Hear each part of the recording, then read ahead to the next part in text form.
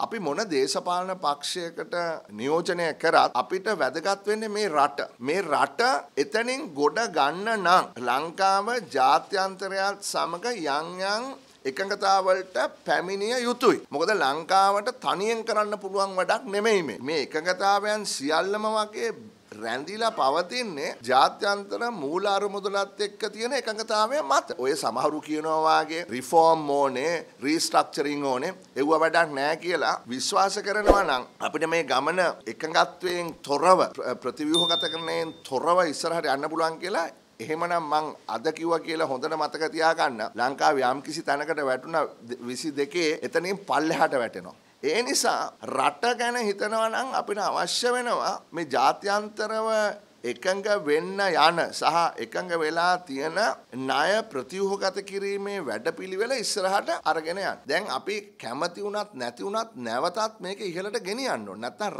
රට කරන්න බෑ.